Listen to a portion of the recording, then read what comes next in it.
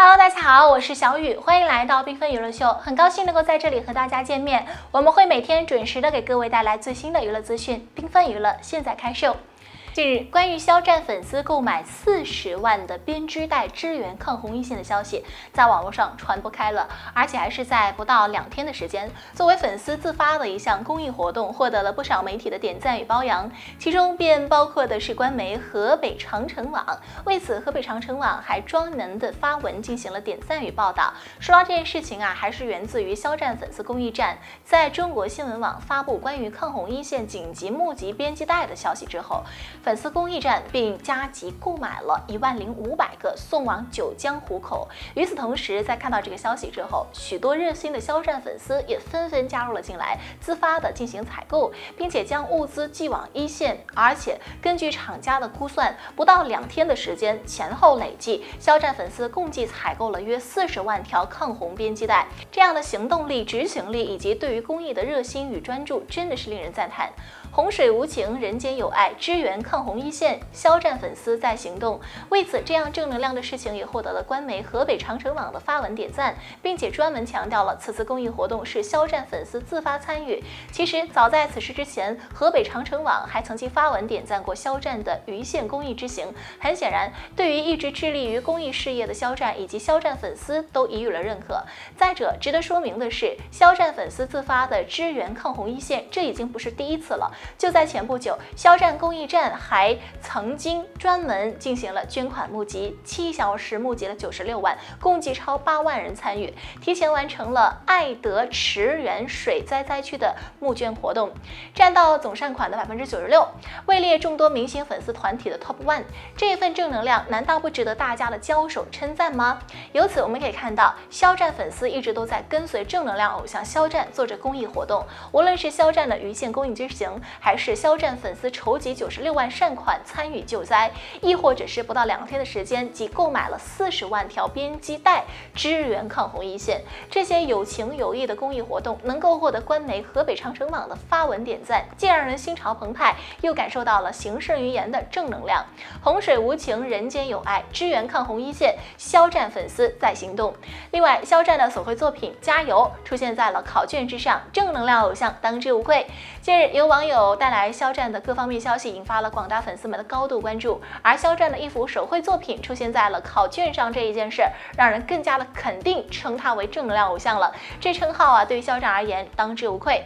说到肖战作画的手绘图，自出道到现在有不少，每一幅都能够将要想要表达的意思概括进去，寓意满满，让人在看到作品的时候，第一眼呢就是惊艳不已，第二眼就是拍手叫好，超棒的。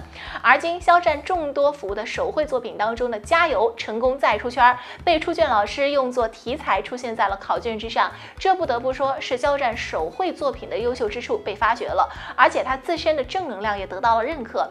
想必大家在听到九七提到肖战的手绘作品加油的时候，心目中已经是想起了哪一幅了？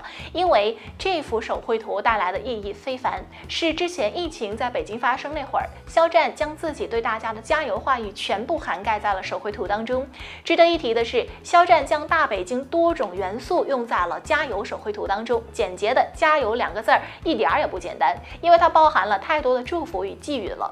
老师将肖战的这幅手绘图出题出在了考卷上，让学生明白了困难期间也不要忘了给祖国加油打气。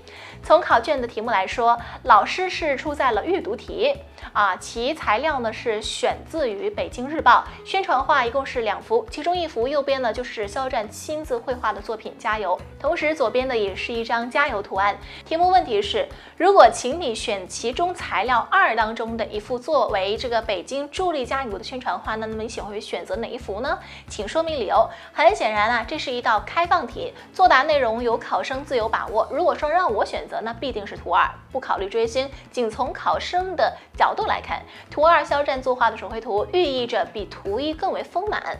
当然了，答案呢在于出卷老师，相信看到。肖战的手绘作品《加油》出现在考生的考卷之上，大家对于肖战的认识会再次加深。一向以正能量引导粉丝的肖战，被称之为正能量偶像也当之无愧。眼下，肖战工作室被官方微博约谈一事儿登上了微博热搜，引起了许多的网友的密切关注。以及热议，我们依旧需要注意谨言慎行。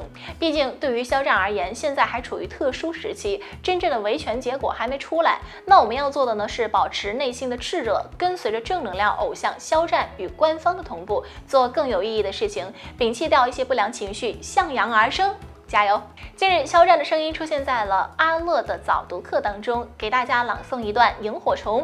很多人特别喜欢肖战的歌，其实是喜欢他的声音。肖战的声音总是透露出一种温暖，让人听了之后感觉到很有力量。这是泰戈尔诗集当中的一首小诗，文字朴实无华，但是很打动人心。尤其是被肖战朗读出来之后，更是让人有触动的感觉。在肖战闭关修炼的这段时间里，别说看他的节目了，想听见他的声音都不是一件容易的事儿。因此，在肖战朗读完《萤火虫》之后，很多的粉丝都哭了起来。他们的哭当中有感动，有心酸，有听到了肖战声音的激动，也有从声音当中获得的慰藉。《萤火虫》中有一句话颇为引人注意：“你在欢乐当中倾注了你的心。”而肖战在念这句的时候，明显是笑着说出来的。肖战何尝不是想要通过这首小诗，通过他的声音，给大家带来一些温暖和力量呢？肖战的声音和他的人一样，他是一个有教养、三观很正、很温柔的男。孩子就像是日光一样温暖，但是不刺眼，总是让人有无尽的向往，想要触摸他。而他的声音也是如此，同样的诗歌，同样的话，从肖战的嘴里说出来，总是让给人一种带着笑的感觉，给人听了之后会不自觉的振奋。这大概就是他个人的魅力所在。这样好的一个男孩子，应该让更多的人认识。大家也坚信这场网络暴力一定能够尽快结束，期待肖战的再次出现。吃瓜不停，娱乐不断，感谢大家关注缤纷娱乐秀。如果你喜欢我们的频道，那么请给出您宝贵的赞，并且记得订阅我们的同时，不要忘记了点亮订阅右边的小铃铛，这样就可以在第一时间收到我们的频道内容了。我们下期节目再见，拜拜。